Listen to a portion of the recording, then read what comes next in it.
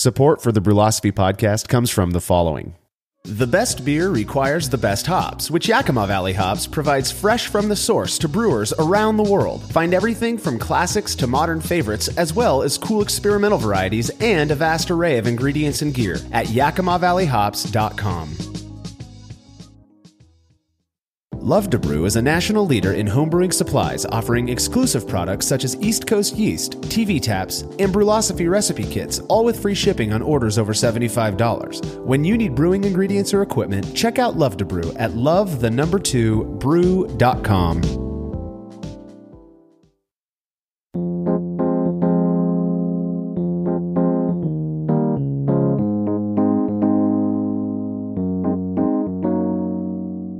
Welcome back to another episode of the Brulosophy Podcast. I'm your host, Marshall Schott, and I am all you've got for this show. Uh, we're not going to be doing the typical uh, presentation that we've done in the past where we talk about an experiment that we've done, uh, but rather today I'm going to be talking with you about the incredible time I recently had at the New Zealand Homebrewers Conference and some of the, the really neat people I've met there and the innovative things they're doing in the world of brewing and beer. Uh, Mike Tonsmeire, Gordon Strong, and I were all invited to attend and speak at the second annual conference, where in addition to giving some keynotes, we all hosted sessions, mine involving, as you might imagine, a live experiment where we uh, not only collected the data, but I presented the results live to the attendees of the session. It was a lot of fun. I'm currently working on uh, packaging all of that information in a really nice, digestible way, and uh, we'll probably publish an article about it at brulosophy.com, though I'm hoping to make it uh, an episode here as well, because the, uh, the, the results were quite interesting. Uh, while while I was at the conference, we also had the pleasure of meeting some wonderful people who are doing, like I said, really innovative stuff in the world of brewing. Um, one of them is the Grainfather guys. Yeah, another one is uh, Gabi Michael from Gladfield Malt. And so, uh, just so that you guys could get kind of some insight as to what's going on in New Zealand, I decided to sit down with them and, and do some interviews. I also sit and chat with the guys who'd organized the entire event. Uh, really good information, and I, I, I, trust that you guys are going to enjoy what we talk about. Before we get to that stuff, uh, I have some announcements to make. First, uh, I, am sure as all of you know, HomebrewCon 2017 is coming up very quickly, and if you want to get the early registration pricing, you need to register today. Uh, this this episode drops on April 20th. And today's the last day to qualify for that early registration. Of course, you have to be an AHA member, so don't forget to go to brulosophy.com and click our link so that you can sign up to become an AHA member while supporting us at the same time. It's going to be a great time. Brulosophy is going to be well represented while we're there. Uh, we're going to be having good conversation, great beer, and an all around fantastic time. Now, I can't say too much about this, but Brulosophy is planning something on the side for those who do end up in Minneapolis. It's going to be a lot of fun.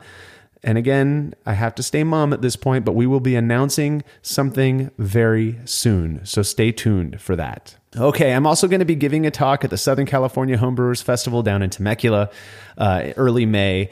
That's going to be a lot of fun. That that's a apparently you you go down and you camp. This will be my first year attending, um, but it sounds like it's going to be a great time. So if you're in California and you're a member of the California Homebrewers Association, go register, come down, have fun with us. All right.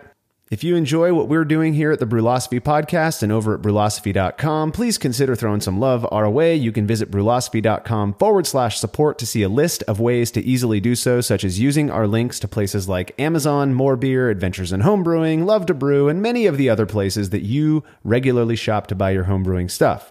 We are also on Patreon, which allows content creators like us to offer cool rewards to supporters who commit to a monthly contribution of as little as $1.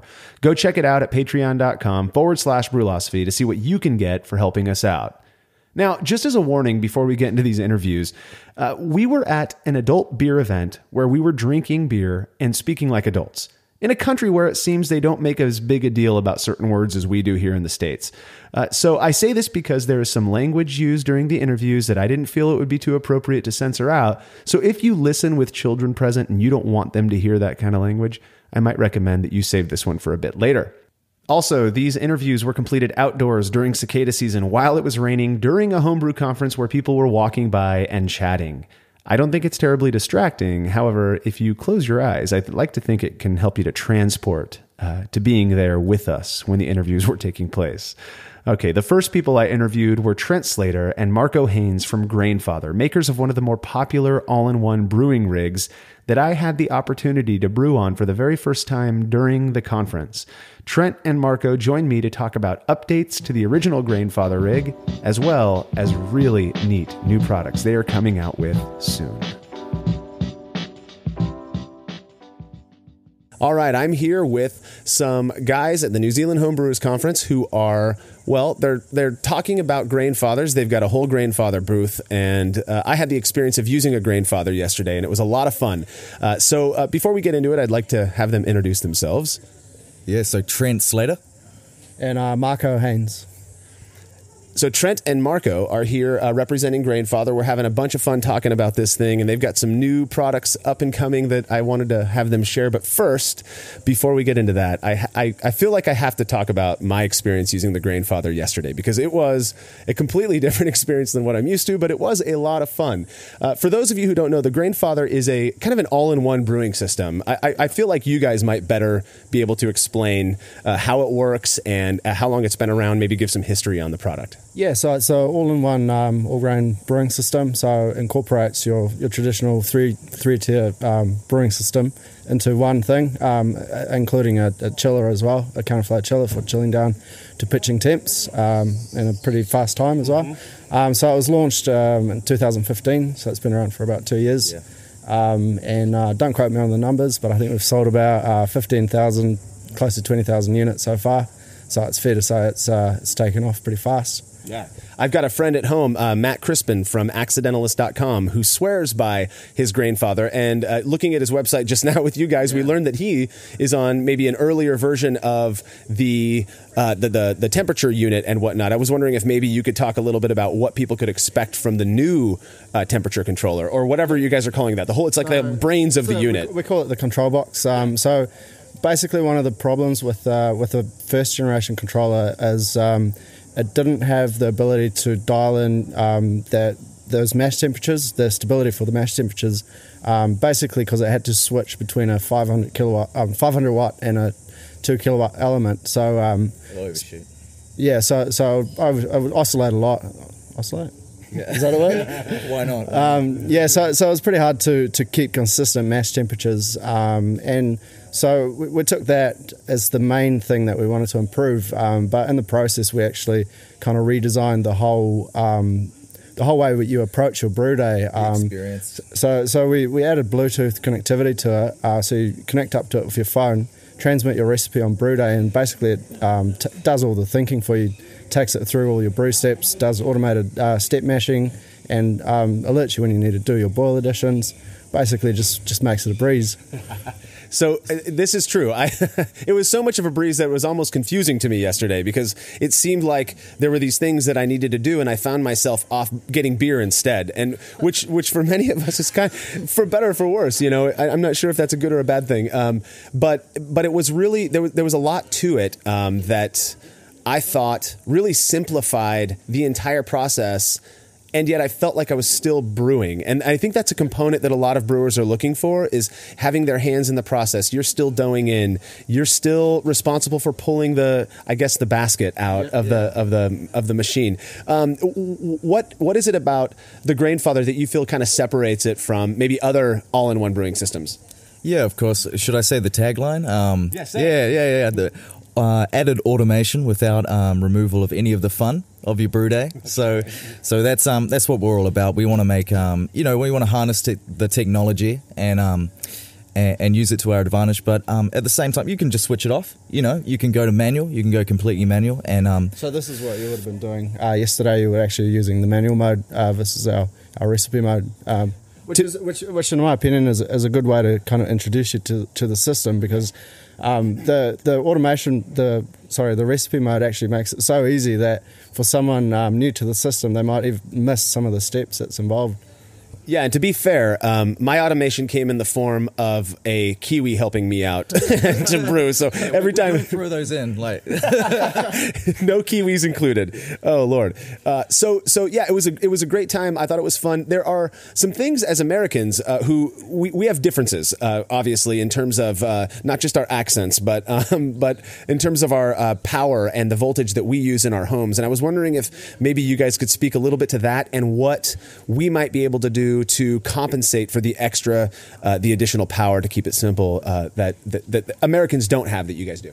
Yeah, so um, t- traditionally on a on a uh, 120 volt system, you kind of run into limits of, of how much current you can get out of your your wall sockets, um, and so that in turn you don't have as much heat capacity to get your ramp times quite fast. So um, of course in, in, America you got the option to wire up a 220 volt um, appliance socket in your house, and then get a 220 volt version Grainfather, and that'll just speed up your your ramp times and make your brew day a bit faster and a bit easier.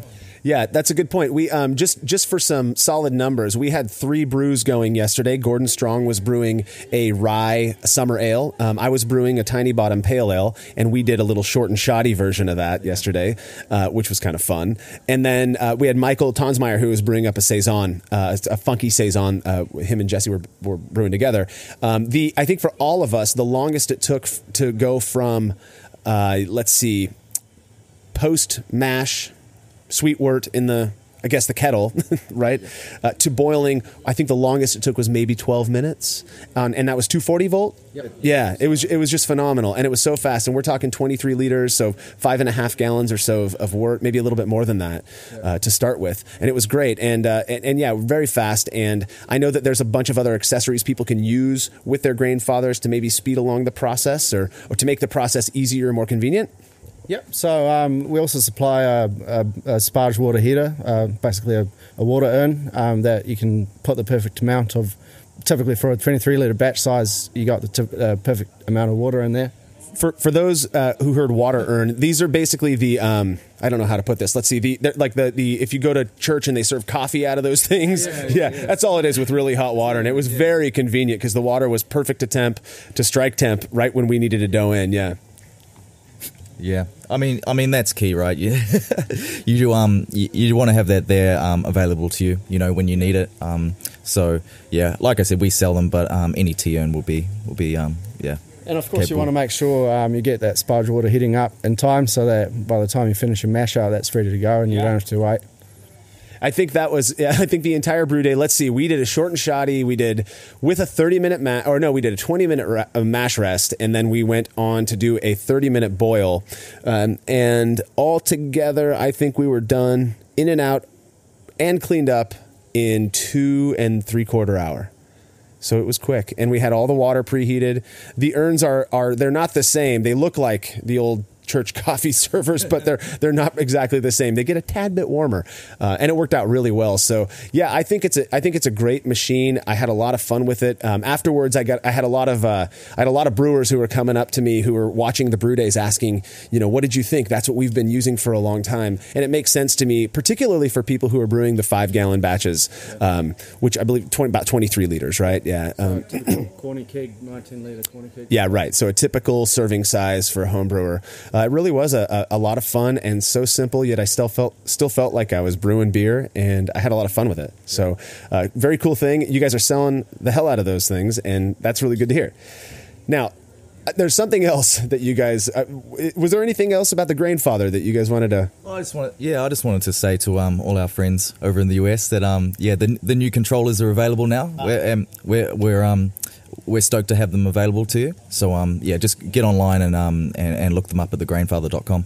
On top of that, I'd like to add uh, check out brew.grainfather.com where we actually just launched a, a recipe creator community last week. Um, that's going to make it really, really easy for you yeah. to create your recipes, share them with your friends, get them onto your Grainfather app, and start brewing them straight away if you can't tell, this is a company that loves homebrewing, and, they, and I, have learned that more than anything, probably uh, with talking to, the, to Trent and Marco here, and brewing with the Grainfather, and meeting a ton of people who brew with the Grainfather here. It seems like it's really taken off, uh, not not just in New Zealand, but but over in Australia as well. I've met a lot of people over there who use it. So, you know, of course, the Grainfather helps you to make wort and after you make that wort, you got to do something with it to turn it into beer. That's the one. yeah. Uh, so, so we figured we've got the brewing side down. So the next step that we had to tackle, that we had to make easy for customers, is your fermentation, dialing in those fermentation temperatures, and just making it really easy to um, control your fermentation temperature and just make sure you. Yeah. Yeah.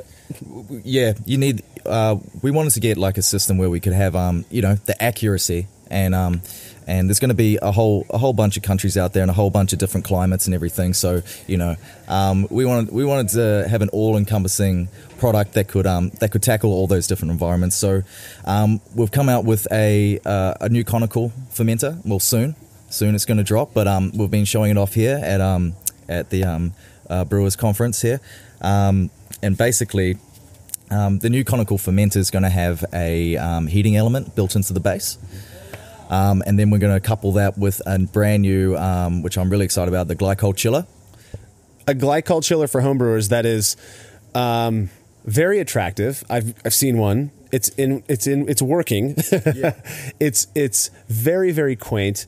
Um, and it is so not what I expected when I first heard about this. A, a little backstory: I, I, received an email from from somebody at Grainfather uh, uh, about I don't know three weeks or, or, so ago, and he was explaining this to me and just kind of giving me a heads up that there was going to be a new product dropping, and I didn't quite grasp. I, I think you know the home brewer mindset is that you know that's a pro brewer thing and that's going to that's going to you know require a ton of space and, and a lot of like you know you got to understand things that a lot of homebrewers don't quite understand when it comes to running things and all of that. I didn't mean to diss homebrewers with that, but but the the the the seeing it today made me kind of it really caused me to rethink what we can do as homebrewers.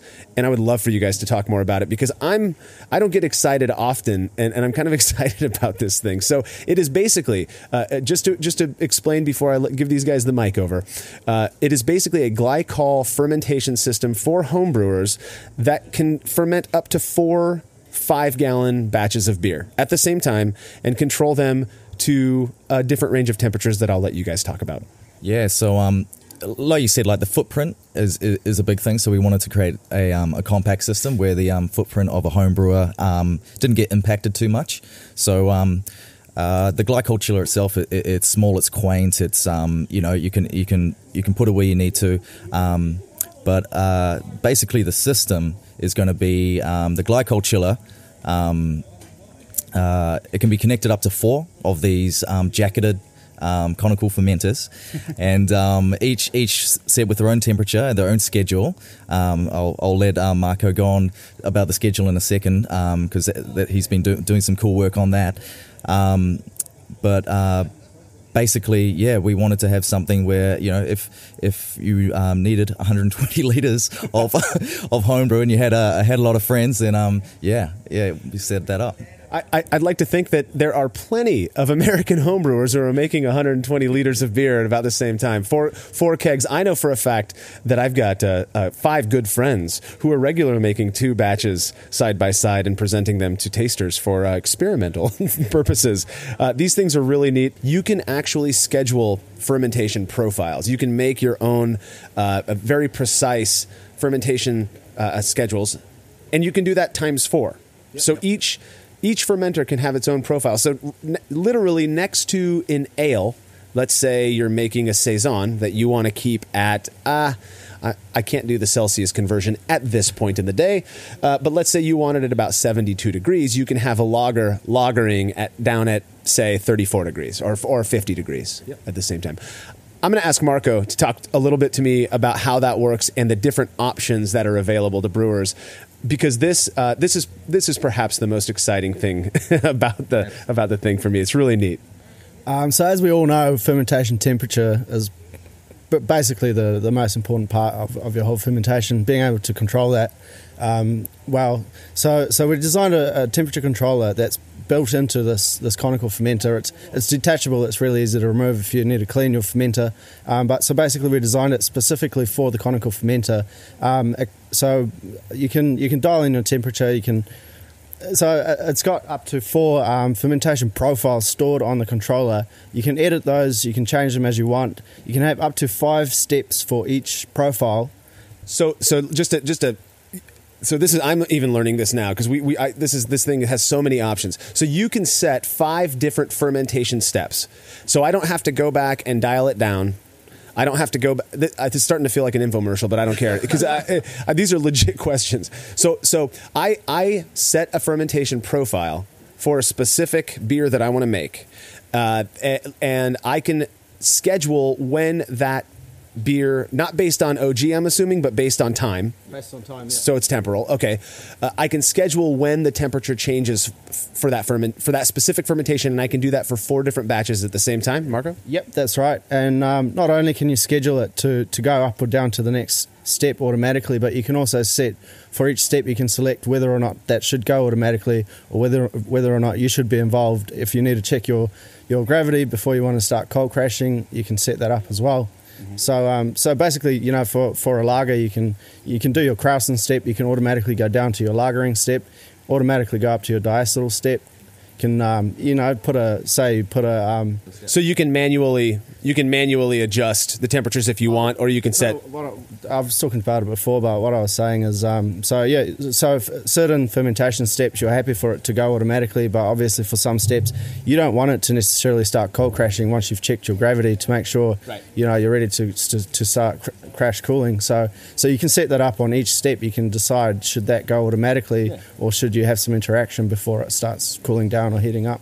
That's so cool. I, I so so I mean you got this you guys like you were making literal home breweries like all together it seems like so you've got the you've got the the Grainfather to make the wort very easily you've got the well the, and the, the Grainfather i guess mashing brewing system, and then you've got the Grainfather kegging, or I'm sorry, the conical Grainfather conical setup uh, that that will control all of your fermentation basically until the beer is done.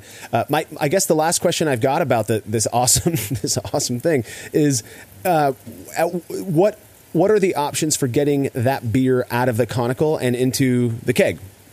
Um, so there's a few different options. Um, we sell a stated. Well, no, I won't say state the art. We sell a. What would you? What would you call it? It's um. Talk about the tap. The the kegerator? The, no, sorry, the tap. Oh, the, the getting the uh, racking the. The dual valve. Oh yeah. Um. So the dual valve's pretty unique. Um, you know, there's there's a few other um, companies out there that are using um, butterfly clamp systems, and and um, they're you know they're great, but they're big and clunky. Um, you've got to really get in there and clean them and everything. Um, uh, the our, our, tap systems um, a single tap, but um, we've basically got a clamp on the side of it that um, you can just leverage off okay. to, to dump your yeast. Um, and then up inside the actual conical, um, you can, uh, you know, sample or rack from there. And we'll sell different sizes of those. So depending on what you're doing, if you're getting like a, yeah. a double IPA or something like that, we'll have a longer one. Like oh, a, yeah. Yeah. Get above the trub layer, basically. Exactly. So, oh, nice. Um, so we'll, we'll provide like options for that. And you can just, uh, you know, you decide before you're doing it what, what you need. So um, jam that on pretty easy. Um, so yeah, I mean the valve's great. Um, we're we're pretty pr- proud of it. Um, no one really on the market's doing anything like that. So um, and like I said before, it's it's it's really easy to clean. Um, and yeah, just all about simplicity, really. it means you don't have um, you know usually you'd have um, the port at the bottom for dumping the yeast, and then a bit higher up on the cone you have your, your racking port, right. which is just another place that you have to clean and sterilize and potential source for, for contamination. So so we eliminated the racking port, just combined it all with with one hole at the bottom. Um, but I think the, the more exciting way to get your beer out that we'll be releasing as well is um, a pressure transfer attachment because the, the lid of the fermenter's got a, a triclamp ferrule on it. So you read my mind, by the way. I was going to ask that next. Yeah. so, uh, so we will be selling uh, a pressure transfer attachment. Um, basically, uh, I believe it will um, include, or we will will be selling a whole range of, of, of parts that you need for your, your pressure transfer um, system. So, like a, a low pressure regulator, um, the the pressure transfer system will have a little um, low pressure gauge, so you can see exactly what pressure the CO two is going into into the keg, and um, actually you'll be able to use that to um, to put a blanket of CO2 over your beer while you're cold crashing to prevent the airlock from sucking oxygen into your fermenter. So, um, but maybe the, the most um, exciting part of this pressure transfer system that no one else does is that you'll be able to insert uh, a stainless steel tube from the top through the pressure transfer attachment uh, with marking so you can select exactly where on the cone you want to rack from. Uh, these guys are doing it all. Every question I come up with, you answer it. Uh, so, so you can uh, ostensibly, it sounds like you will not only be able to pressure transfer, but ferment under pressure as well. A, maybe a small amount, or maybe not. No, so the the, the conical fermenter is not rated um, okay. to to ferment um, under pressure, but it, it will uh, hold up to five psi. So, um, you know, it's it's good to protect your beer from from oxygen, but we wouldn't advise uh, pressure fermenting in it. I'm, I'm really excited about the Grainfather. That's something that I've known about, I don't know, for the last couple of years. I think probably since it came out. And I've heard a lot about it, but, but as it continues to grow in America, I think there's a lot for us to learn. And uh, not only, you know, I think there are a lot of products hitting the market lately, all very innovative, all very neat, that are that make entering the hobby of homebrewing easy uh, for homebrewers, and I think the Grainfather is one of them. I think it's got it's really decently priced. I believe, to quote uh, uh, American prices, I think they're right about seven hundred ninety nine dollars in America, which isn't isn't bad. I mean, if you if you've seen what most homebrewers spend on their setups, yeah. their five gallon setups, it's not a bad price. What we'll hopefully see though is that people don't just view this as a as a new as, as a new brewer tool. This is something that I had a lot of fun on. I've been brewing for what 15 years almost, and it was and it was great, and it made the process simple, and I was still brewing, and uh, it was really neat. So, are there any other things that you guys are coming out with that you want to talk about with, or maybe some some? Yeah, I mean, w- with everything that we're doing, whether it's the conical, the glycol chiller, like we don't want to make anything redundant, um, and and it's our aim to you know um, have some different options, especially with like the glycol chiller that's coming out. Um, there might be some options um, that um, uh, yeah, we'll come out with like a neoprene jacket or something. Um, other other cooling options for kegging mm-hmm. as well. So um, we don't want to make anything redundant. We want to you know build on what we've got, and um, yeah, you'll you'll see some pretty cool stuff coming out soon. Uh, yeah, we've, we've actually got another product um, on the way. We're um, working on launching a um, electric grain mill. Um, so basically, a really, really solid um, aluminium construction frame. Because you know, um, typical grain mills, it's it's kind of a flimsy affair that you have to put together. This will be really, really solid with a with a um, specialized drill motor built into it. So basically, you just set it up, press the button, and then you can just feed the grain in as you need. So eliminates the hand cranking, but also eliminates, um, you know, with a typical drill, if you attach your drill to uh, to a mill, you still have to uh, make sure you do the right speed. You can't just lock it into full blast and, and leave it going. So, so this is specifically designed for the right. We've got different settings, uh, different speed settings, specifically for the right kind of motor speed for for optimum milling. For the type of grain that's being used. Yeah, so, you guys so are. watch out for the the Grainfather grain mill. I'll be keeping my eyes open. Yeah, yeah. I kind of feel like that too. But it, when you talk about such innovative products, it's hard not to sound like you're not selling it, and it, and it's just exciting stuff. And you know, people are going to think what they want. Okay, now real quick, I want to. I've got my, my, my new friend here, Goose, um, who uh, we won't talk about ages because the, the the age to drink and brew beer in New Zealand is far different than, it is in America. Uh, but Goose is the man who helped me. He was my automation yesterday, uh, and he's the one who helped me to make Tiny Bottom Pale Ale. He's been using the Grainfather for how long, man? Um, oh, four or five years now. Okay. Um, well, not four, five, but probably actually three. Sorry. Okay, so he's been using a Grainfather, uh, the, the, the, original Grainfather system for about for about three and a half yeah, years now. Yeah, and uh, has a lot of experience on it, and was was very nice to have around yesterday when I was brewing. I wonder if you have what are your ge- kind of general thoughts on the Grainfather, and if there's anything you'd like to share about your experience with it, because you seem sold on the unit, right. as as many people in yeah. New Zealand and Australia do. Uh, what do you think about the, the unit and your experiences using it so far? I say so. My experience using it, I put 58 brews through the Grainfather. Yesterday was our 58th, so um, and I love the system. I I went straight from kit and kilo to all grain using the Grainfather. I got it for my dad bought it for me for my birthday. And um, nice dad. Yeah, yeah. the condition was he gets half of everything I make. Oh, so, course, yeah. but um, yeah, I love it all. I mean, there are a few uh, little things that you guys actually. The good thing about you guys is you listen to customer complaints and anything that is wrong with the Grainfather um, on the homebrew side, you guys do tend to fix. Um, my only little niggle would be the ball valve, but we we went through that one the other night as to why that's in there. Um, but uh, yeah, other than that, it's great, and it's only getting better and better. I mean because you guys just released a new control box, which is awesome. Um, I got to try it out yesterday and give it a go. I don't have one myself, um, not enough money yet, but um, yeah, that that's so cool that you guys listen to, uh, you know, people saying we want to be able to do this and sit in the living room and drink beer. So yeah. So Goose, how long is your typical brew day when you when you brew a batch? Let's say you're not doing all the weird shit we did yesterday, Right, yeah. but your typical your uh, your typical brew day uh, using the Grainfather. Okay, so yeah, yesterday was the quickest one I've ever done. I think um, about an hour, but my typical brew day would be around four hours um, on a Grainfather. So Uh, we I think yesterday we cut out about. Uh, maybe 45 minutes to an hour of a typical process, and that was par- part of what we were doing. And uh, we were done in what three and a half hours? I think cleaned up. You you came back and you said everything was clean, and I was kind of amazed that things were done. Uh, definitely, that experience opened my eyes to a whole new world of, of what brewing could be. Um, and I think you guys are are on the cusp. You're on the on the on the cutting edge there, and it's so fun to watch. And I'm excited to see what you guys come out with later. Thanks for the interview. Thanks.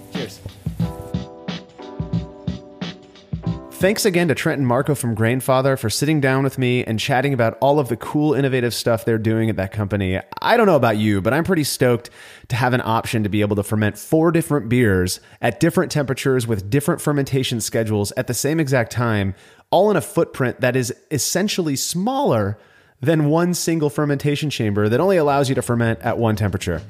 Awesome, awesome stuff coming out of Grainfather. All right, when we come back, an interview with one of New Zealand's most prominent malt producers, Gladfield Malt, I'll be chatting with co owner Gabi Michael about some really neat stuff they're doing in the world of malt. Hang tight. After a long brew day, the last thing I want to do is waste time chilling wort, which is why I use cleverly designed immersion chillers from Jaded Brewing. After some bad experiences with counterflow and plate chillers, I began the search for a more efficient chilling solution and discovered Jaded. That was nearly four years ago, and to this day, I continue to rely on the King Cobra and the Hydra to chill my wort in record time without the setup or cleaning hassle of other chillers. If you're looking for a way to optimize your brew day, I can't recommend Jaded Chillers enough. Go see what they have to offer at jadedbrewing.com and let them know Brülosophy sent you.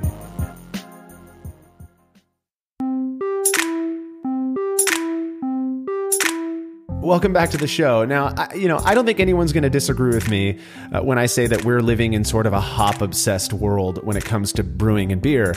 And there's nothing wrong with that. I love me some hops, but uh, really truthfully, my love, my passion has always been in beers that have that tend to have more of a malt character. And I've been fascinated for a long time with the process uh, that, that is required to make different malts, as well as the various ways of using those malts uh, to make different beers. So imagine my luck to sit down next to Gabi Michael, co owner of New Zealand's Gladfield Malt, when we were judging at the Brewmania competition at the New Zealand Homebrewers Conference. We struck up a conversation.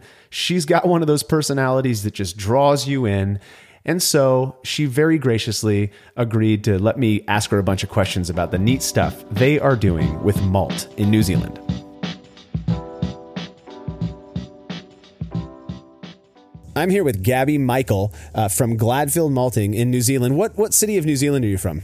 I'm from Dunsandel, actually, uh, the South Island. The South Island. That, there's two islands of New Zealand, and she's from the South one. So um, I actually met Gabi. We were judging together at Brewmania here in New Zealand, and I happened to just plop down at the table that she was at, and we were doing a really interesting judging thing. And uh, I learned that she was co-owner actually of, of Gladfield Malts, uh, malting, and and we ended up talking a lot about this grain that we all love so much and it kind of excited me. And so then we started spending time at the the following day which was which was uh, just yesterday uh, with me tasting a bunch of malts and telling her what I thought they tasted like. And we had a lot of fun doing that. And uh, again my excitement over the product that Gladfield here in New Zealand is producing uh, skyrocketed. So I thought I'd sit down and have a conversation with Gabi about what it is they're up to at Gladfield Malting. Do you mind giving us a little bit of background? Yeah, I know. Well, first of all, thanks for having me. I appreciate it.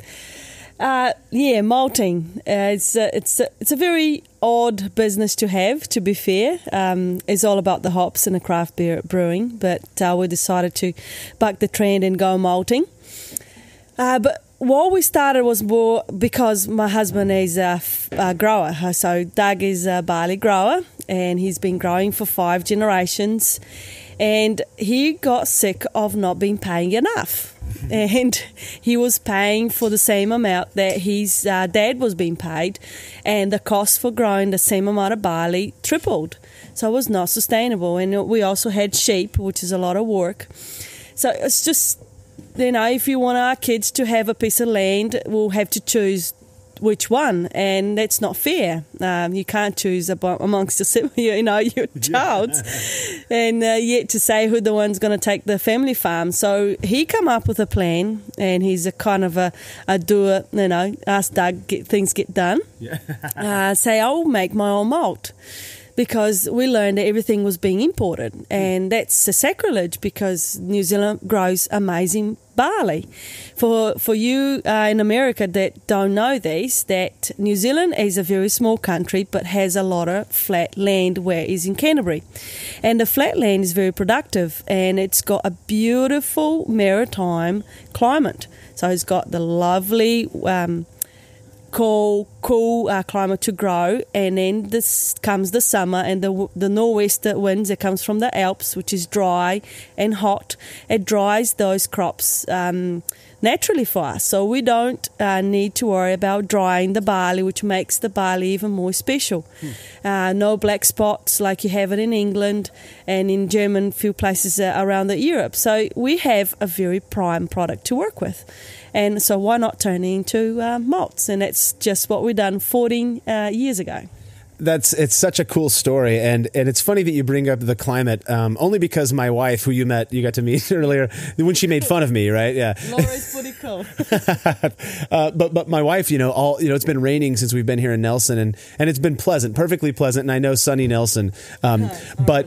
I'll explain in a few words what New Zealand is. It's a freaking island two islands with the Alps and right in the middle of it, and we're closest to Antarctica, so it's very volatile. You can get four seasons into one day easy enough. That's four seasons into one day. That's wild. Uh, and so I, I think uh, beyond learning about the amazing malts that you guys are making, uh, learning about the climate here has, has just been a, it. it's crazy yeah and, and and new zealanders are so or kiwis i should say are so proud of that mm. well you guys are making an entire portfolio of every malt that i think most people would ever imagine using. Yeah. And I'm not going to, we don't have the time to go over every single one of them. So, uh, on top of all of the traditional base malts, I thought maybe we could talk about some of the fun stuff you guys are doing that, that, that, that perhaps you think is different than maybe what people are being offered now. And I think it, I think it, it is difficult to get Gladfield malts in America right now. But, but for those of us who are loving what we're seeing here, um, and, and enjoying the beers that we have tasted made with those malts, I think it's uh, about time we start working to get some Gladfield malts over on the U.S. Um, and I should say that most of the beers I believe that we are drinking in in New Zealand are made with Gladfield malts, at least to some extent. That's true. I mean, we're very proud of that. Yeah. We're proud of that. Some uh, brewers took our products uh, very seriously, and we we grew with them. You know, some of brewers that um, been buying from us is from day one of their brewing career.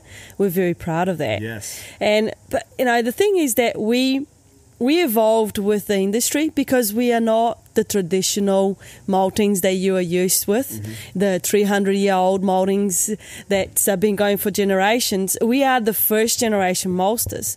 So we can change, we can add, we can take mm-hmm. away whatever you need. And it's sort of a, a very unique position to be.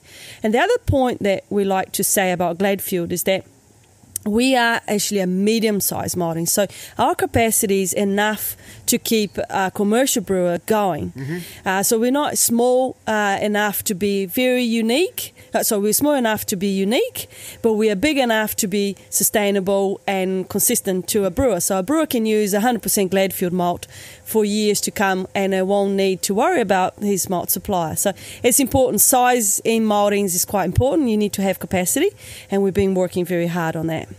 One of the things that you uh, said to me when we first met that I thought was really impressive was that you're because of the fact, perhaps of your because of your size, but also because of the region that you are.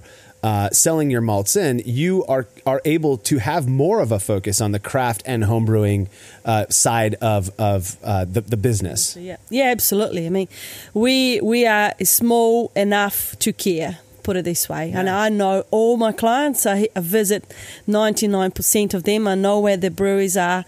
I know, like the home brewers, we keep it very close touch with them, hence why we're here. Mm-hmm. And, you know, just knowing what they want and listen to their feedback. I mean, that's something that I said. I just listened to a couple of feedback today.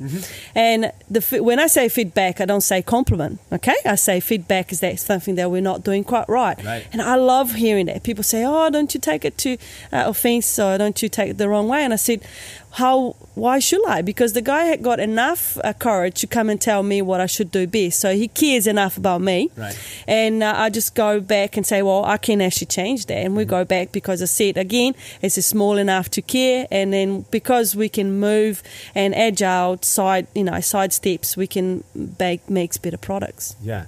Okay, I think we should get into talking about some of these amazing malts. So, uh, you know, when you meet someone and they and they kind of talk up their product a little bit. I mean, no offense to you, I get it. You're kind of like, yeah, yeah. You're kind of like, oh, great. Um, so, so when I arrived at the table and you started pouring all of these different grains in my hands and I started tasting them, uh, there, there, there was a first one you poured in my hands that I want to talk about a little later because I think it is fun and kind of exciting. Uh, and so instead, what what I'd like to do is kind of go in order of base malt through specialty malts. Um, I, I I make a lot of Vienna lager, and my common uh, recipe these days is now ninety seven percent Vienna malt. Yep. So I just mostly Vienna malt, and three percent pale chocolate. And the reason I do that is because. Uh, p- Pale chocolate uh, adds a, a nice nuttiness without being too roasty, but it also has kind of a roasty edge. Something I expect at a three percent level to get in a Vienna Vienna lager to balance exactly. Well, when I was t- and I and I eat my malt before I brew with it every day, especially my base malt. As I was munching on some of your Vienna malt, I had this kind of epiphany that wow, this tastes exactly like the Vienna lager that I want to be drinking without the pale chocolate. Um, Wow. And I, yeah, and I, and I and I and it was so easy to eat, and it ta- it was almost like a snack for me. It was so tasty, perfect amount of sweetness, but it was still dry enough and toasty enough to have that. And I'm chewing on it. I'm not drinking a beer made with it, but it had all of the characteristics I'm hoping for in a Vienna lager. I don't know if you can speak to that, or if maybe the Munich malts and stuff like that you're talking about. But what is it you're doing to make this stuff taste so good? Well, thanks for the compliment, Marshall. That's awesome. You know, it's great to hear that our malts are hitting the, the mark. But the Vienna and the Munichs, uh, interesting enough, it's one of our most sold malts um, after after the the, malt, the base malts. Uh, it just flies out the door. The reason why we're making good quality Vienna in specific is because we have the time. We don't shortcut the process. We have a kiln germination vessel that where we make, and we're only making it a maximum of 20 ton at a time. So it's quite small for when you when you're thinking about you know mass production, 200 ton batches, and some maltings around the world. Mm-hmm. So we're making a max of 20, 20, 30 ton down to 10 if we have to and but we got the time. So it's not a production line for viennas and munichs and any of our malts. Uh, it's that is that ready for uh, for the next the curing stages of um, so curing is when you're actually building those sugars up at kilning um, uh, stages. And if if the curing is not doing not um, there we just bring it up to the point. There's nothing behind us saying you can't. You haven't got time. You got malt uh, on a system, barley on a system that needs to be, um, you know, coming into the germination box. You can't. You can't wait. So almost uh, the the quality of the malt uh, kind of outweighs the time that it takes to make that malt. Absolutely. I mean, it's no use us going and uh, making, going to our maltings and trying to do what everyone else is doing. We want to be specialised malt. You know, we are very proud saying that we are the world's best pure malt, and we don't say this because oh, it's just a marketing uh, slogan. We say because we believe in it, and we want every malt that we make is no shortcuts. The barley that we have is is, is the malt, the barley that's got the right protein levels, the right germination percentages to be able to perform at the germination and kilning process. So, in a Vienna and Munich are classics. When we talk, is actually very a quick story. As I say, we took our Vienna and Munich to Australia for the first time. Um, I had a brewer that said that doesn't taste like Munich. And I said, "Wow." What do you mean? Well, me by being me, our inquisitor. So what do you mean? Why not? So he on, stop there. He went into his uh, malt, malt uh, Yeah. room, grabbed me a bag of uh, Munich, and then I chew on it, and I said, "Well, that doesn't taste like Munich." so, but and then he made. Uh, so we put it to the test. Like, look, the best thing for you to do is just to make a Munich style um, uh, beer and see which one stands out. He came back to me and I said. I, I, very similar what you said about the Vienna. I don't need any other malts. I only need yours. Yours is full of flavors. So I haven't tasted anything like it. So it's again, there's there's simple things that makes the difference. Yeah, it really seems to be the case. Um, let's get into some of the more interesting. You guys, by the way, their naming conventions for these malts. I'm just going to go over some of the fun ones.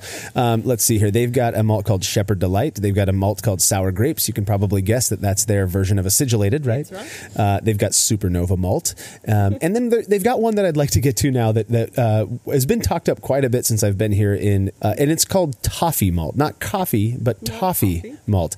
And before I met Gabi and before we started talking about this whole thing, I kind of started making some assumptions as to what this toffee malt might be. Um, and then I threw some in my mouth and was kind of uh, surprised with what, what, with what it ended up being. And I'll, I'll let you kind of talk about yeah. what, no, what toffee malt is. Toffee is the most interesting malt that we make, to be fair. the one that's really out there. Every malt that we, uh, most of the malts that you have is a below or below four percent moisture. Mm-hmm the toffee is 7%. like it's a frown upon in the malt industry to have a, a, high moisture malt.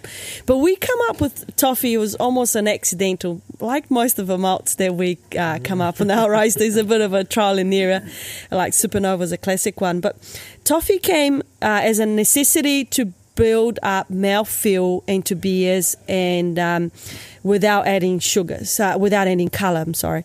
So we with um, brewers were using too much crystal to build up their malt, um, their uh, malt cushion that we call it, and it just wasn't right. Mm. So the toffee came in as in a very under-modified crystal, uh, but chewy. So you don't need you can use as much as twenty percent if you want, but you can use as five percent to give that lovely sweetness to the beer without adding any color to the beer, which is unheard of in any malt, malting malts that you buy. So you can make a color and um, um, an, a, a big IPA uh, with we've got a light a light uh, a light lager, which is only uh, 2.7 EBC, and then you can add the toffee, which is uh, only 20 EBC, and makes it a very very light beer, but it's got so much mouthfeel in it that you have no idea how the brewer um, achieved that. So yeah. that stuff is my surprise malt, put it this way.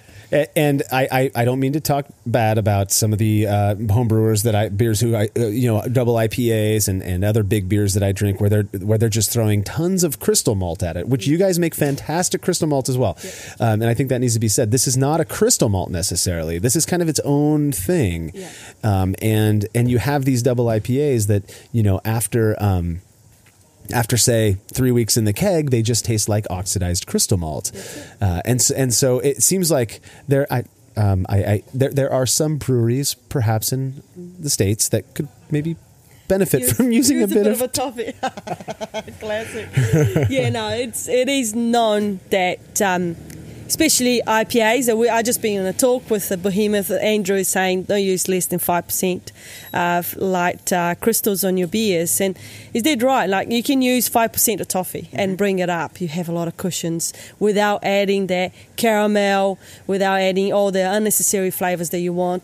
That will clash with your malt, with your hops anyhow. Yeah, and I and I um, just as you know, I, we I think a lot of home brewers and brewers in general like to chew the malts that they're to taste the, the malts that they're going to be using in their beer, and this is one of those ones where I, you gave me a forewarning: don't bite too hard because it's, it is very chewy, and I, and and that's tough. For, it was tough for me to imagine, but um, a good analog would be uh, something like chewing on a Laffy Taffy or a Now and Later, some sort of a hard candy, and it kind of sticks in your teeth, unlike most malts yeah. that just kind of crack up. And hard uh, candy is a perfect um, yeah yeah. description for a malt, which is very unheard of. Yeah, yeah, it was very interesting. Um, well, besides that, you've got some other ones. Are there any other malts you'd like to talk about? Uh, yeah, probably our most um, world-renowned malt will be the Manuka smoked malt. Ah. Yeah, so that's a very intriguing malt because the Manuka, it's a type of tea tree, and the tea tree it grows um, native here in New Zealand and it makes a beautiful honey. So the bees use the flowers of the manuka to produce the, the very medicinal medicinal um, uh, honey, which is sold around the world for a lot of money. But the, the, the wood of this uh, manuka tree uh, bush, it's it's quite special. It's got very savoury uh, tones, uh, notes to it, which you, one day we we're sitting around the table, Doug and I, and say like, what can we make that no one else can make in the world?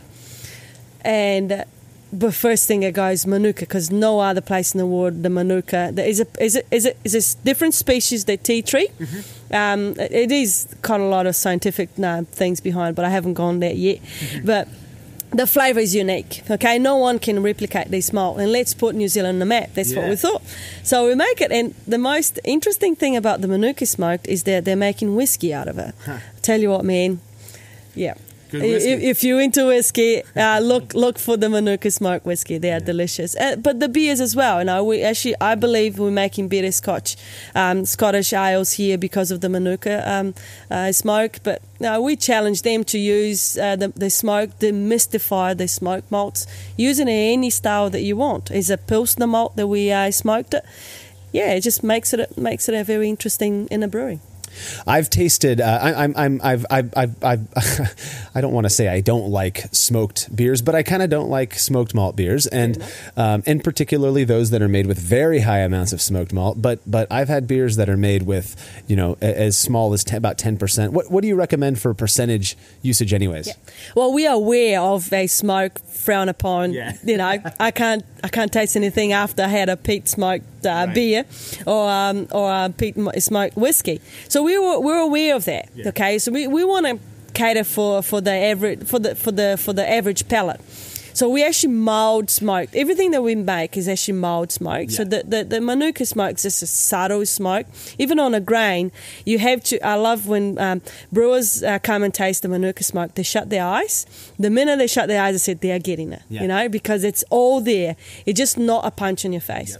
But uh, so we recommend 30% of that that malt to make it a very good um, smoke that's going to linger on your palate a bit longer. So what makes you think that okay, I didn't think it was a smoked beer, but definitely a smoked beer now after a sip it, and wow, I, I'm kind of like do I have another sip or do I enjoy what I'm just having on my mouth right now? So keep it interesting, you know. Different. So my my experience with it was I've I've had I believe three or four beers, one home brewed, uh, two or three that were commercially made with the smoked malt, um, yeah. and it's a proud thing. They Manuka smoked malt is what they usually tend to say in the in yeah. the in the name they of the beer. Call it by name. They call it by name, and uh, they the, the reason I had so many is because they were so impressive to me. And yet again, it was one of those things where I was kind of taken off guard because I'm not a fan of these smoked beers at all. They usually either taste like bacon or um, well, you know, Fair American enough. bacon, yeah, streaky yeah. bacon, yeah. I should. Probably not Kiwi bacon. Fair enough. um, or, or, they just taste like uh, you know I, somebody's you know goose is putting a cigarette out in my mouth or something like that. You know, it's uh, people seem to enjoy that. But but what I what I thought was so fun about the Manuka smoked malt is the fact that it is it is mild enough to where you can use it even at thirty to fifty percent of your grain bill, and and and potentially get those more pungent smoky character mm-hmm. uh, or f- smoky flavors without totally obliterating the palate of the person drinking that smoked beer. Very, very true. Very, it, it has to be an, an interesting. We even ask, uh, it's a bit like the toffee, you know, the element of surprise. Yeah. we we want to, we, we think of this way. Like you're competing, it's a bit like us competing with multinational maltings. It's a tough game, you know. It's not for everyone. You had to be really tough in the head to oh, do that. Oh man, I believe it. And but the brewer, the craft brewers are doing the same. They are putting a fight against the giants. Yeah. So how do you do you win against the giants by being different, by being agile, by by setting up new trends? And we're doing the same with the malts. So why not? Um, while you're your everyday drinker, they're putting a beer that looks like a pilsner beer when they drink and I said, "Oh my God, what is in that beer?" You know, like, "Oh, it's Manuka Smoke Malt." You know, like, yeah. wow, I didn't think you could do that. Yeah. So just that element of surprise, that wow factor, all these things that we like to think that we're helping our brewers or our clients to sell more beer. So.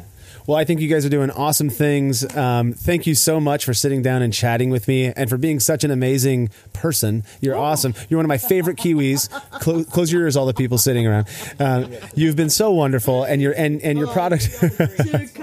everybody loves Gabi, and your and your product really is incredible. I guess the last question, and this is a tough one, I know, is if if I'm living in America as I do, and I need to get my hands on, or I want to prove to you that I really want to try your malts, how can we do that? How do we get our hands on it, or how How do we how do we get you to, to uh, what can we do to help you get uh, this product over in America? I think a simple question, simple question to that uh, answer to that question. Sorry, goodness, we're all drinking here. One. It was a tough one. uh, just generate a demand. You know, let ask us. We will financially we will be able to look into it, but it will be just make sure you you know the brewers are asking for home at homebrew shops. Oh, can you get Gladfield in and create a probably a guild where you can bring the Maltine and a, um, yeah, I don't know. We we are looking. It. I mean. Uh, America for us would be a dream, having our malts and, and some of our most drinkable beers in, in a ward. Um, I strongly believe, you know, I've had a plenty of fantastic beers here. I think Gladfield Malting is uh, as responsible for a large part of that, and I think what you're doing for the industry here is fantastic. Thank you so much. Thank you. Thanks for coming to us. Yes. Cheers. Isn't she fantastic? Ugh, I just love sitting down and chatting with people like Gabi who are so passionate about what it is they're doing for brewing and beer and how focused she is on the homebrewing aspect of it. It's just really refreshing to me. Uh, I've maintained regular contact with Gabi since I've returned from uh, New Zealand, and I'm really excited to see what types of stuff they're going to be able to do here in the States. And if you are interested in using those malts, do not be afraid to let your homebrew shops know. Let the people who are ordering these malts know. Um, I've got a kilo of toffee malt that Gabi sent me home with that I'm really excited to put to use very soon. All right, when we return, our final interview with the guys who organized this whole thing Mike, Ed, and Carl. We're going to talk a little bit about the Brewmania and the very unique style of judging that they developed for that competition, as well as the conference in general. Stick with us, we'll be right back.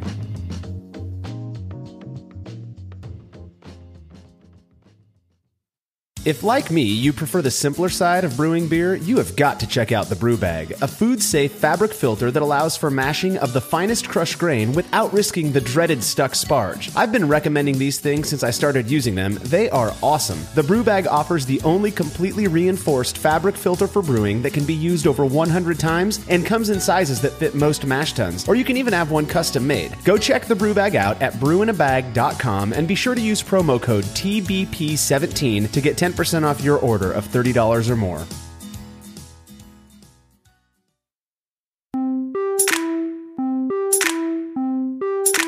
So, the New Zealand Homebrewers Conference is the brainchild of three very enthusiastic Kiwi homebrewers named Mike Stringer, Ed Bream, and Carl Summerfield, all who put forth a lot of time into crafting what I thought was a fantastic event. Now, unlike HomebrewCon in the United States, the actual conference portion of NZHC is only one day. However, there were other really awesome things that we got to get involved with and that, that attendees of the conference can get involved with as well. For example, we went on a hop tour uh, in Motueka uh, where we got to meet the guy who's largely responsible for pushing out the famed Nelson Sauvin hops. We got to pull Nelson hops off the vine, rub them and smell them. It was incredible. We also did a live demo brew brew with the Grainfather units at an event called Marchfest, which is all about beer and music. And there was cider and stuff there as well. Fantastic time. And then, of course, there was Brewmania, which is this really unique homebrew competition developed by the NZHC organizers. So, following the last session on the day of the conference, that's a hint. It was the last session, meaning that we'd been sampling beer all day. I peeled away with Mike, Ed, and Carl to talk about how they felt NZHC went this year. Here we are at the end of the the New Zealand Homebrewers Conference. And, I, am here with uh, the three guys who organized this entire thing, which is amazing uh, Mike Stringer, Ed Bream, and Carl Summerfield. Um, thank you so much for having me. No worries, Marshall. It's been fantastic to have you guys here. no, it's been really good to have you here, and uh, your personality has beamed us to the next level, which is great. I'm going to say, mate, you are the Energizer Bunny of the brewing world. Um, I'm not sure how to take that, Carl, but the, well, I, would like to say first off that this conference, this is the first uh, homebrewers conference that I've been to outside of the American version, which was now called HomebrewCon, and the organization. Um, first off, it was so well organized that that I would never have guessed that the three of you uh, are the ones who put it on. No offense. I know we don't look like it. has nothing to do with looks, actually. No, but you guys put on such a great show from the first night showing up in the barbecue over at Mike's house uh, to March Fest and all of the the Brewmania judging and all of that. It was just such very different than what we're used to in America, but also so incredibly well put together and so much fun. Uh, were there th- certain aspects of it? I know that you guys did it last year and you had some guests out from America as well. Were there certain things that you guys did differently this year? Uh, we actually made a conscious decision um, uh, when we decided that we'd run it again that we would try to change as little as possible unless there was a compelling reason to do it. Um, so that you know we, we, we took the opportunity to learn some lessons from the first time and, and to focus on those things that didn't work so well, um, but definitely not to uh, to break a winning formula. Yeah, it's a winning formula. Any, you guys have anything that, about the? I think um, one of the things that we did more successfully this year was we managed to paper over the little hamsters and things running in the wheels behind the scenes. Yeah, you did a good job of it because it was it was everything seemed so smooth. The transitions between all of the. All of, Ed, I wonder what was the most difficult part of organizing an event like this. Um, well, first, as Mike said, we dished out a lot of the responsibility. so don't forget forget all the volunteers that they've helped us tremendously, yeah. you know. And we didn't dish out just sort of like carry a chair from A to B, yeah. but also a whole like take care of the audio video, which is fucking awesome. Sorry. Um, so that that's a big part. Yeah. And then second, uh, we had nine months of weekly at least meetings where we try to be prepared and get more and more prepared and then you still get caught out on the last week with stuff that you forget. I think that's a pretty common thing for uh, event organizers in general is that last minute there's always something that's going to come up. Um, and and again I, have said it a million times but you guys really kicked ass in this whole thing and i appreciate you come, bringing me out here.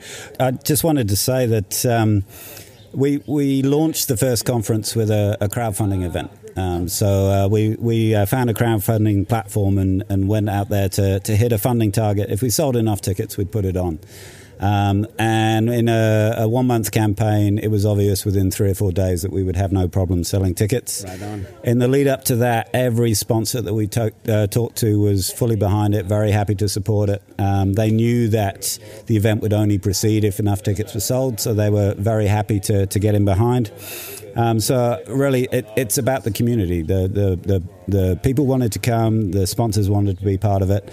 The commercial craft brewers were happy to jump on board. And and being in in Nelson, um, New Zealand, uh, Nelson Sauvin is world famous. And yes, when when we're going over and trying to shoulder tap people in the states to say how do you feel about coming to Nelson in the hop harvest season? Um, that, those that say no say, ask me again next year. I don't know who would say something like that. Yeah. well, uh, uh, uh, one of the things that I thought was really interesting about this is the the Brewmania event. And I know that you guys did this thing last year and that you've developed some interesting stuff on on the scorekeeping. It a little background for my American friends. When when we judge beers, uh, we do it in a very particular way. Uh, for the most part. Now we do some weird stuff as well it's on the side, but for the most part we're we're um, we are uh, we're, we're taking score sheets and we are taking beer by beer in a single flight and there's two judges and they judge those things and we take it very seriously. And uh, we got all these. Gordon Strong walk by right now. So, uh, yeah. Who's that? Yeah. so, but when we when we for the most part when we're doing judging, that's the way we do it, and and it boils down to a usually a best of show round, and in that best of show round, you've got you know up you know 15 to 20 beers or so that a couple of people end up voting on to be the best beer. Uh, totally unlike that.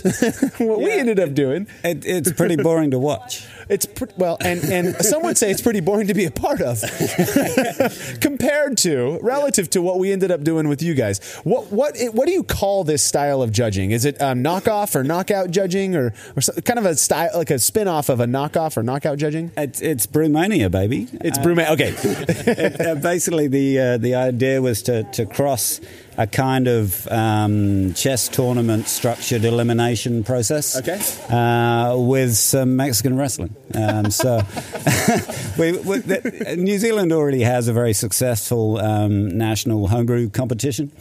Um, and when we put on the the conference, uh, as soon as we uh, had the idea down on paper, we thought, well, some kind of homebrew judging should be part of this. But we needed a way to make it something that people could come along to and enjoy the experience of taking part, and it was a spectator sport. Um, so really, the goal was to try and work out how we could do that um, in a way that's not too onerous. It doesn't mean that homebrewers have to provide 20 litres of beer so that you know a, a large crowd of people can uh, can judge it. And I guess it, it kind of evolved from there over a, a couple of weeks of, of nutting it out the biggest challenge we had with the uh, the first first Brewmania um, was that um, pretty much by the time the event ran, after talking about it for six to eight months, very very few people actually knew how it worked. To explain the structure of it um, was too hard. Yeah. Can I just say, there was only one person in existence that knew how Brewmania worked, and that was Mike. I'm, I'm going to have to guess that Mike is the one who developed the strategy for Brewmania. yeah. I watched Mike try and explain it to James Spencer from Basic Brewing Radio. He was going to be our MC for the night, and I watched James sitting there and just asking questions and asking questions, and then he shook his head, and then he asked a couple more questions, and then he said, "I think we'll just figure it out on the night, eh?" well, I, will admit I have no clue how it works, but but it was the funnest judging I've ever been a part of. Um, without going into too much detail, um, is, is can you explain a little bit about how it works and and and um, what what ends up going into it, Ed? Well, just to summarize it a bit, uh, it took me about half a year to put his ideas into an algorithm that actually does his job from last year because after that he looked like a zombie of five hours sitting in front of a spreadsheet. Right. Um, that kind of that kind of made us decide to not do that again. I'm sure. Just in case he tries to have another baby like he did last year. So that's right. a different topic. Um, we, I, I got to cut you off because I just learned that Mike, Mike, one of the or, one of the th- triumvirate of organizers here, had to leave early because he had a baby last year. Priorities. Yeah? He actually had to leave the night before the conference and wake everybody up at two o'clock in the morning and trying to transfer knowledge to us two to get this whole thing running. Okay. Um, just back to the Brewmania. So it is it is actually not that complicated. Um, the only thing that's happening is that there's a lot of chips that being are being voted on. So every beer um, you can vote on, and there'll be between three and whatever how many beers depends uh, depending on how many entries we get are served on every table. There'll be ten to twelve tables. We're at twelve, and every judge, meaning every punter, can gets a certain amount of chips and he votes for the beers that he likes. And we would like them to put one chips per beer, but people ignore it and whatever. So we end up with a with a, an amount of cups A to D, which represent the beers being served, yeah. um, with certain amounts of chips in them, right? So these chips are being counted, typed into the system, and then the black magic happens. um, things like vote percentages come into play. Um, and then um, winners on table rounds and then total vote percentages where we try to look back in history because we're not trying to find the best beer. That's the main difference in this competition. We're trying to find the best brewer. Yeah. so um, in the end with all this counting that thankfully computers have been invented for um, we figure out who are the 10 best brewers of the competition, of which we then select the five best by mathematical levels. And then you guys, the VIPs, the guys with the supposedly best palate, pick the, the actual winner. So it is a simple system, except it can be very complicated. Well, the, the, the, I think the biggest thing, and, and I can only speak for myself, but uh, I met some great people at my table, a bunch of whom are standing right over there. And it was so communal. It was like a, it was more of like a social gathering where we were having a blast, basically judging people's beer, and and there was something so much fun about it. And I and, and while there's a place for a more um, organized, I, I don't mean to say it was disorganized, but a more organized and kind of pointed judging system, there was something so incredibly refreshing and fun about the Brewmania judging. The whole time we, we've been planning to put on these conferences, that one of the things that was a huge aim for us was to bring the brewing community in New Zealand together. Yeah. Um, a lot of uh, brewers, you get into little uh, sort of regional areas and things, and we all mix around in Nelson, and that's fun. Yeah. Um, but I, oh, you and I were talking about this earlier today after the conference, certainly after Brewmania. It's like a big beery hug from yes. the beer community. Um, we all feel like we've shared an experience or, or two, um, and we've learned a little bit from each other. There were loads and loads of people talking, people talking to commercial brewers. The commercial brewers were picking up things from the home brewers, um, and it's actually been a lovely community building experience. And um, Brewmania is certainly part of that. Yeah, yeah, it feels that way. Uh, if somebody wanted to learn more about how to do that, and, and it sounds like you guys have some spreadsheets set up to make it easier to calculate the. We actually have developed a software for that, so you don't even have to do the calculation anymore. We're happy to talk to anybody. I would say, right? Yep. Just looking around before they knock me over. Um, happy to talk to anybody. Happy to uh, talk about the software, etc. So. Um, it's something we would like to have spread around the world because it's a different type of judging, which, as you said, is more fun, more social. Yeah, totally. Uh, the, the way that it's set up now is so that it is reusable event by event. Um, and we'd love to take that forward. And yeah, it, will be very easy to, to, to run and to set up. Um, the challenge is, is basically all about marketing yeah. um, and getting uh, uptake from individual home brewers.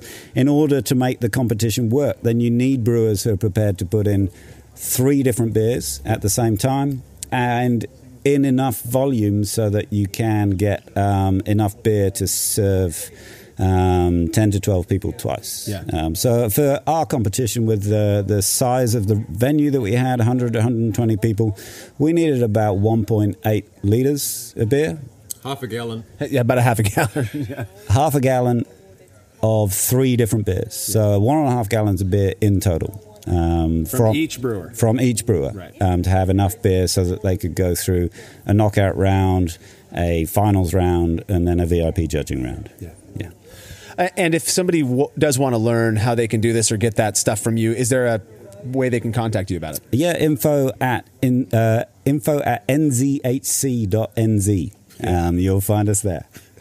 Well, uh, if it's if it says anything about the way this conference and Brewmania in general, or specifically, was run, the fact that there were so many beers to judge, and that we had such a great time judging them as VIPs uh, the, the, following day, uh, and and it, it, says a lot about the conference, in my opinion, that it was a very huge success, and you guys continue to grow. And I wish you nothing but the best of luck, and I can't wait to come back and visit you again, hopefully sooner than later. Cheers, guys. Ah, what an incredible time that really was. Uh, those guys put on a great show, like I said, and uh, there's there's absolutely no doubt in my mind that one of these days I'll be able to make it back over to New Zealand and hang out with some of the brewers and uh, drink some of the fantastic beer that they have over there. If you ever get the opportunity, I can't recommend it enough. One thing I didn't talk about was the incredible time that my wife and I had in Sydney, Australia, hanging out with my friends Paul, Garrett, and uh, Conan, who who showed us a whole bunch of different breweries out there. And I want to give a shout out to one of them, Willie the Boatman. We had a fantastic time there. They took us in the back, uh, gave us a, a, cool tour of their kind of pieced together Franken machine uh, brewing system. They're making great beer. They're doing good things. All kinds of other great stuff over in Sydney as well. And that brings us to the end of this episode. Thank you so much for joining me. I hope you enjoyed learning about what's going on in New Zealand as much as I did. If you're looking for ways to help us bring you this stuff more often, go to brulosophy.com forward slash support. And don't forget to check out the rewards you can get for helping us out at patreon.com forward slash brulosophy. Follow us on Facebook, Instagram, and Twitter to keep up with everything we're doing. Please send show feedback to Marshall at brulosophy.com. Cheers to all of our sponsors. We wouldn't be here without them. We will be back in a few weeks with the next episode of the Brülosophy Podcast. Until then, think beer. Start off the morning with some hot tea, lemon and honey because it suits my bro. Put some herb in the bowl, yeah, it's homegrown. Ain't gotta go through the no.